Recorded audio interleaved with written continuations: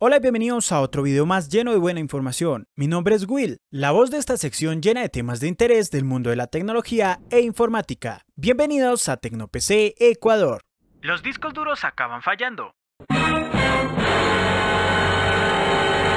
Por ello, en este video le explicaremos a detalle lo que usted debe saber para mantener su información de manera segura, la mayor cantidad de tiempo posible ¿Le ha fallado alguna vez su disco duro? Sea que le haya pasado o que aún no, llegará un momento en su vida donde estará en riesgo los documentos privados y sobre todo esas fotos y videos familiares donde están sus amigos con aquellos momentos que no quiere olvidar. Los discos duros acaban fallando, no todos, pero sí un número sorprendentemente alto, ya sea por defectos de fábrica o por el uso mismo. Cada usuario le exige más o menos a estas unidades mecánicas según sus actividades o nicho de trabajo. En el último estudio de una empresa de almacenamiento en la nube muy popular de nombre Black Blaze, muestra en sus últimos informes las conclusiones sobre el segmento de discos duros tradicionales. Su uso masivo de unidades de este tipo ha hecho que puedan compilar una gran cantidad de datos que les permiten analizar el rendimiento de estas unidades y sobre todo la fiabilidad que éstas ofrecen, confirmando que siempre fallan y que como cualquier tecnología no es 100% fiable. En este gráfico, por ejemplo, queda patente el problema al que están sujetas estas unidades. Es raro que fallen tras el primer año o segundo de uso, pero cuando llevas cuatro años con la misma unidad o más, está expuesto a alguno que otro susto que podría acabar con los datos inaccesibles.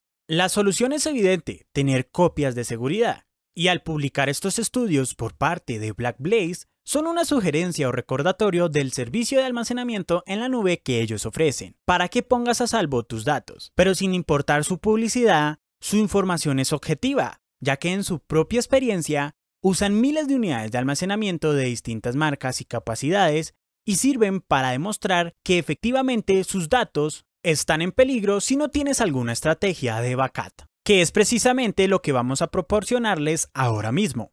Pero antes de comenzar, debemos saber cómo revisar nuestra unidad de almacenamiento. Recuerdan que en un anterior video les comentamos que Windows introducirá una nueva función que le avisará sobre el estado de salud de las unidades de almacenamiento antes de que fallen? Pues si no lo ha visto aún, en la tarjeta emergente que está saliendo en este momento o en la lista de reproducción podrá encontrar el video con los cambios que está sufriendo Windows. Ahora bien, esta no es la única herramienta que usted puede utilizar. Repasaremos rápidamente las herramientas que le serán de utilidad antes de pasar al procedimiento de backup. Tenemos el famoso Crystal Disinfo, HD Scan y HD Tune, que ofrece la posibilidad de realizar un análisis gráfico del comportamiento interno o externo de un disco duro, entre otras más que podrá ver a detalle desde la descripción de este video. La estrategia de backup que recomiendan conocedores del tema y de seguridad de datos, inclusive también recomendada por la USERT, se denomina 321. Es muy sencilla de explicar. Primero,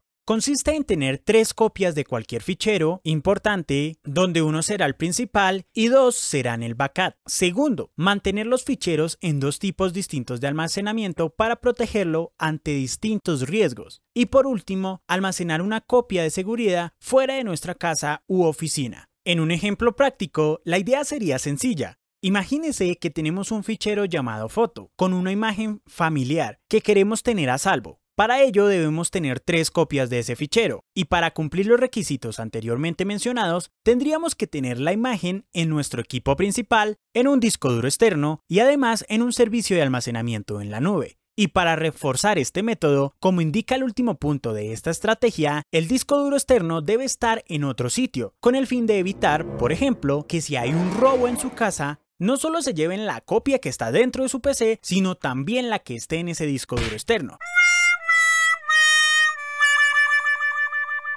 Por ello es mejor tener todo en diferentes locaciones. Ahora bien, pero se estará preguntando cuál es la opción más segura para un backup a largo plazo. Pues los fabricantes de distintos tipos de almacenamiento prometen una serie de prestaciones que suelen estar en un periodo de tiempo relativamente corto de unos cuantos años. Sin embargo, dependiendo del uso, los fallos se pueden presentar antes o después de dos o cuatro años. No hay un consenso claro al respecto de cuál es la mejor solución a largo plazo, y más porque aunque esas tasas de fallos de los discos duros están presentes en muchas unidades, Hay muchos discos duros que se conservan bien tras muchos años de uso, y seguramente muchos de ustedes tienen unidades de almacenamiento que tienen más de 10 años y siguen funcionando muy bien. Es prácticamente la misma historia que nos cuentan aquellas personas que aún guardan información en DVDs. De hecho, debido a esta característica, los discos Blu-ray, gracias a su capacidad de almacenamiento, son muy usados como almacenamiento a largo plazo, a pesar de sufrir los mismos problemas de los DVDs y los CDs. No obstante, las mejores tecnologías en este formato parecen haberlo convertido en un candidato interesante para algunas empresas como Facebook, que usan unidades especializadas de Panasonic como parte de su sistema de almacenamiento a largo plazo. Y en el 2009 salió una patente de una tecnología llamada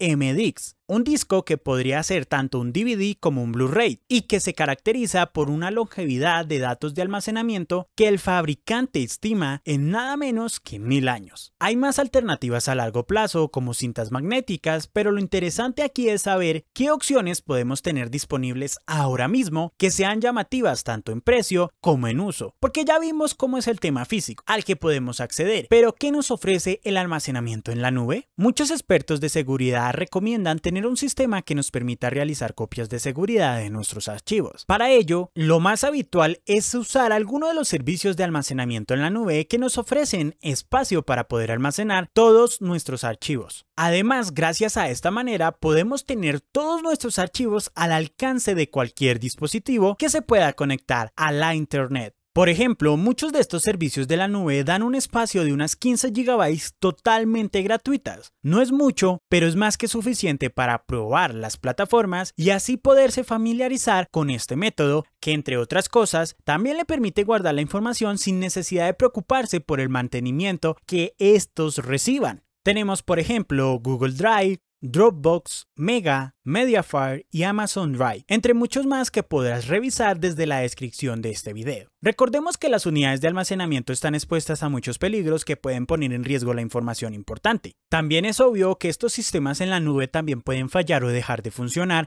en alguno que otro momento. Pero saber sobre estos métodos de salvaguardar dicha información es algo que todos deberíamos conocer y tener al alcance porque es mejor tener más de una copia que nos permita acceder a dicha información que simplemente perderla toda en un solo momento. Con este último dato terminamos este video. Te invitamos a compartir tu opinión en la caja de comentarios, a dejarnos un bonito me gusta y a suscribirte activando la campanita para que no te pierdas de nuestro contenido.